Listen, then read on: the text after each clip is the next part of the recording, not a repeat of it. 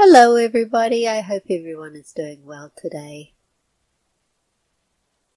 Today we're going to look at masks and also how to pixelate videos.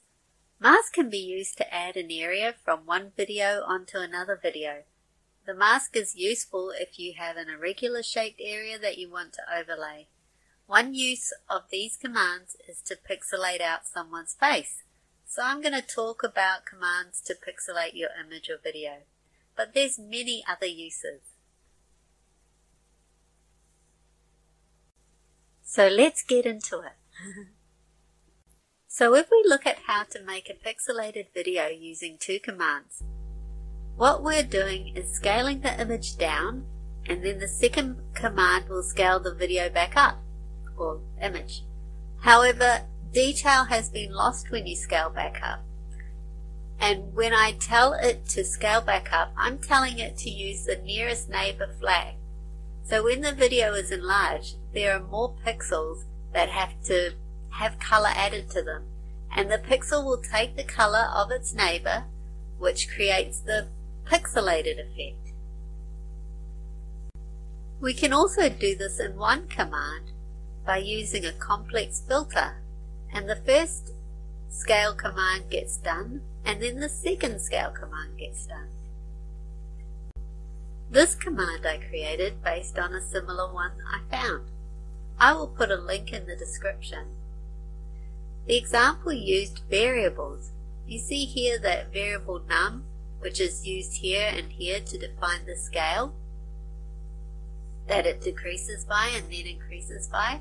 Then I have the input, which is the video that I want to pixelate and the output is the name I want to give my new video.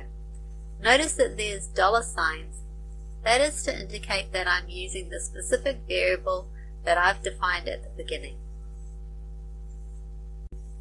Now, if you want to affect only a certain area to be pixelated, then you can use a mask. The mask allows you to add any image or video to a specific place or places in the video. For this command, you need three inputs. You need the input that you want to cover the white parts of the mask and the input that you want to cover the black parts of the mask. And also, you need the mask.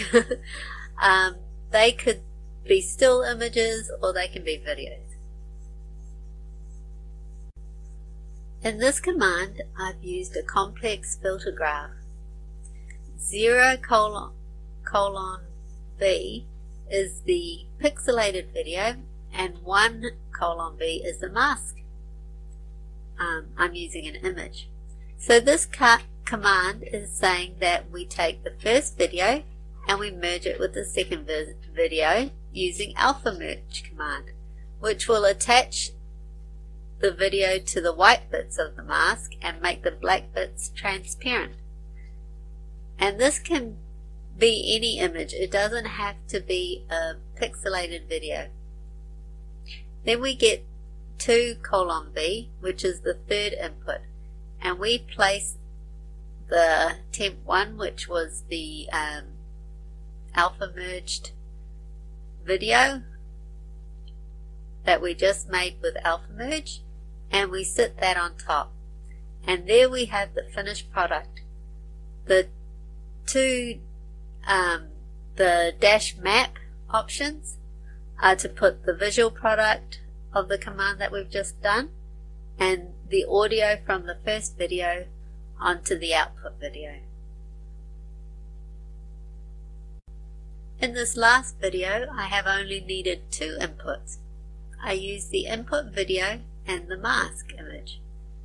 I have split the input video into two streams so that I can pixelate one of the streams and then merge it together all in one command.